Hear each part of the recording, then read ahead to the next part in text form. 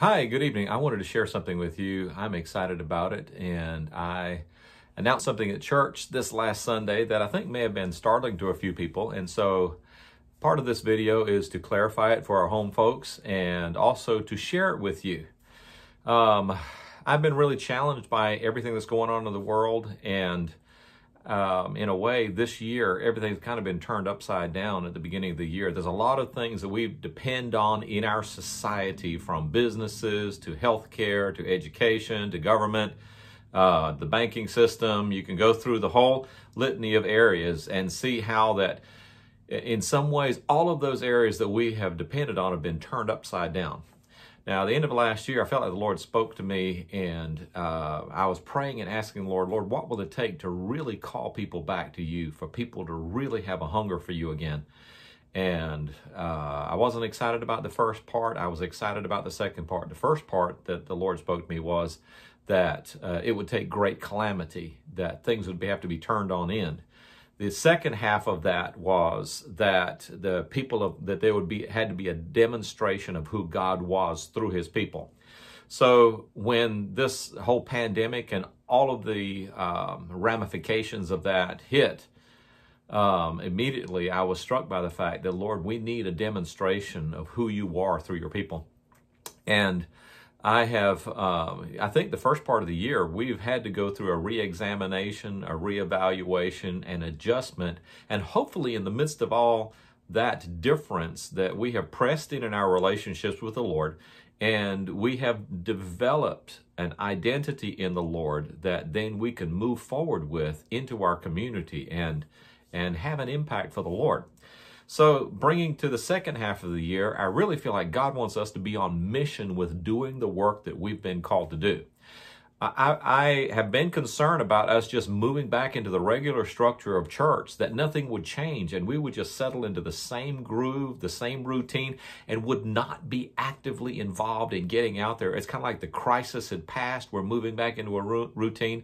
And now we're just going to go about as the people of God, Sunday morning service, go home, go through our week to go back to church on Sunday morning and hope I get blessed.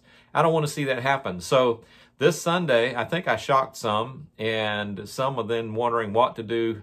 But what I told them, I said, next week, we're not going to meet here for Sunday. We're not going to come into the sanctuary next Sunday. Instead, I want you to go out and, and take Jesus to the community. So, in a sense, what I'd like to put a term on it, like a Jesus Day. Let's go and share Jesus with people. And I want to make that a little bit more practical, but let's going into God's Word, and a good foundation for this would be found in Acts chapter 4, where uh, Peter and, and John were going into the temple, and here's this lame man outside of the temple that needed a miracle.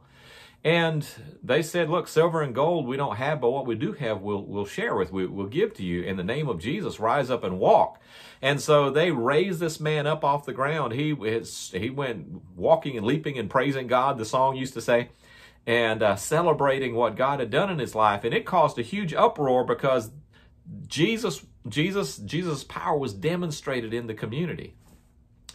And, uh, after that, it's interesting because there's some parallels to what I see that have been going on in our society that the leaders became upset, not about the good deeds that were being done. They were okay as long as God's people were just being kind and doing good deeds to people. What really ticked them off and made them upset was the fact that Jesus' name was being exalted. They said, don't teach, don't preach, don't speak anymore in this name.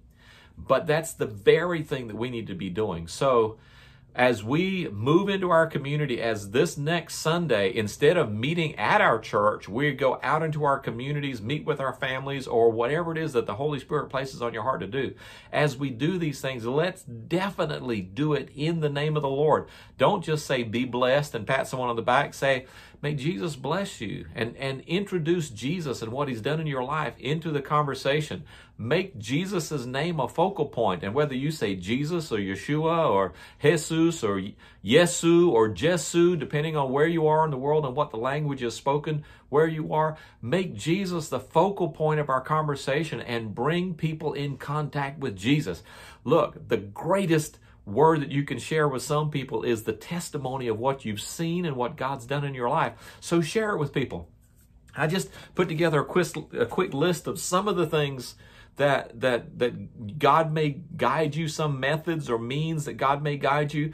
But again, this is all about being a touch point for Jesus and bringing people to an opportunity to know Jesus and eventually, hopefully, to be able to make a decision for Jesus. And and as you approach next Sunday, um, and and this very different day for a, a church in the body of Christ, I want to ask you to to pray and ask the Holy Spirit to give you guidance. God, what do you want me to do? And uh, uh, some of the things that I want us to really focus on is mending of broken relationship. If you've got family members, loved ones, people that are co-workers, friends, that you've got broken relationships, and you, the Holy Spirit points out to you that you need to get together with those people and restore those relationships, then do it. Do it. Don't let this free Sunday that, that God's giving you an opportunity to mend those relationships. Don't let it pass without working on that. It may be an opportunity to share your faith. Maybe the Lord will give you um, someone specifically or may show you someone that day to share your faith. Don't just do the little uh, little trite response. Share Jesus with people. This may be the day of salvation. It may be the last opportunity they have. Look, and let me just clarify God's not just called us to salvation, God's called us to a glorious life.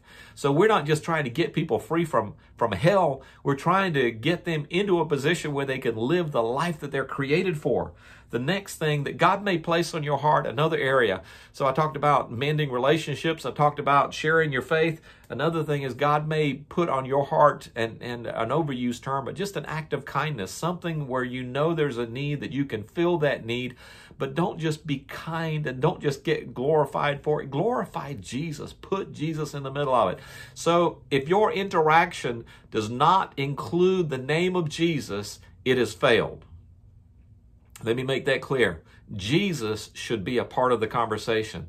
This is Jesus Day. So celebrate Jesus, share Jesus, okay? But here's some things that, so make sure you state the name of Jesus when you're talking to them. Tell them that you're doing it because of Jesus, that Jesus loves them. Share Jesus, okay? Uh, some of you may feel led to have family members or friends over for a meal, and you could have a conversation about Jesus. Uh, let me just encourage you don't just do the regular thing that you would normally do. Don't just get together with the same old people unless there's something different about it. This is a special day of dedication, a special day of service to the Lord. Um, do you know someone that has a need? Meet that need in Jesus' name. For some of you, it may be a meal. It may be getting together for coffee. It may be sharing ice cream. It could be a general conversation that you're having with someone when you're going out and about but introduce Jesus into it. You may include, here's some groups of people, your, your parents. Do you need to restore relationships or have conversations with parents that don't know the Lord? How about your siblings, uh, your children, the next generation to be raised up to serve the Lord? What about extended family members that may not know Him yet? Friends, your neighbors, co workers, or even strangers that you may come across. Share Jesus. It's Jesus Day. There may be different kind of areas where they may have need. They may need yard work. They may need uh, have food needs. They may have, need meals provided. Uh, I'm trying to give you some gateways to have the conversation. Maybe they need their laundry done, or they need mechanic work done, or uh, what skill do you have to offer that you could help somebody with? Maybe you know how to repair things and they don't know how to repair it or, or physically aren't able to do it because of something that they're going through. It may be that you need to babysit for somebody. Go in there and give them a break, take care of their kids, but make sure that it's not just an act of kindness, but Jesus. Anybody can do an act of kindness, but put Jesus in the middle of it. Um, maybe you can give them a plant or a flower or some unusual, unexpected something that will catch their attention. Um, uh, you know, go to your neighborhood and give out bags of fruit or give something to your neighbors or people around you and, and tell them you're doing it because Jesus loves them and you just wanted to express that love. You can give them a plant and let it grow and it'll be a sustained something that they look at every day and think about Jesus' love for them. Look, make sure on Jesus Day that Jesus is the focus.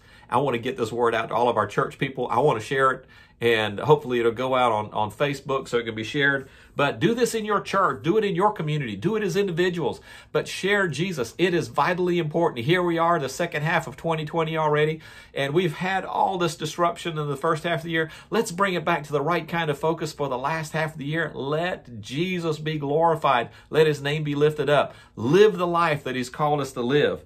Um, and for some of you, even in our church, God may speak to you and tell you to visit another church. Look, if you want to visit another church, that's fine. I want you to learn some really good things. If God puts that on your heart, it's intentional. Learn some good things and bring it back home. Let's grow. We'll grow together. May the Lord bless you and make you effective. Lord, you hear what our intention is.